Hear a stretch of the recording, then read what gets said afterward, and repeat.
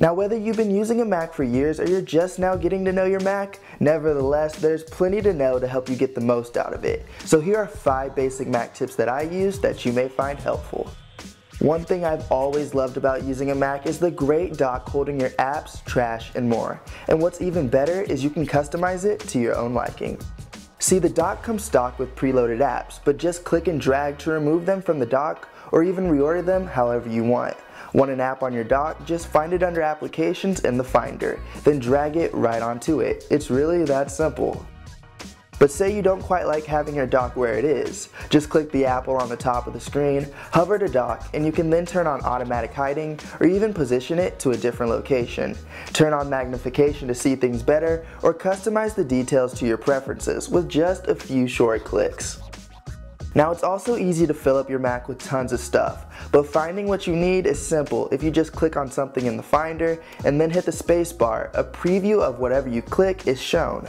Toggle through your documents, play songs, and even check out your videos without opening an application. Skip the excess steps and find exactly what you want.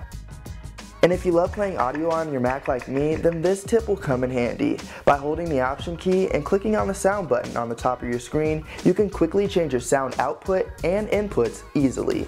Playing your iTunes library through your Apple TV or favorite Bluetooth speaker just got that much easier. There's a lot going on sometimes when working on your Mac, which means you may tend to clutter the desktop with miscellaneous things. But if you right click the desktop, you can clean it up in no time. Clean up by name, date, even by size, and get your desktop at least a little better looking quickly. Last but not least, if you tend to leave your Mac on its own, the screen will either go to sleep or start a screensaver, like most computers. But unlike PCs, on your Mac, you can have the album artwork from your iTunes library beautifully display itself across your screen. Just scroll way to the bottom of the screensavers and hit iTunes artwork. And like that, next time you leave your screensaver to run, all of your favorite albums fill the screen, and a new album is added with each second. Use these 5 basic Mac tips and start enjoying your Mac experience that much more today. And be sure to check out all the best Mac news, tips, and more right here on CultofMac.com.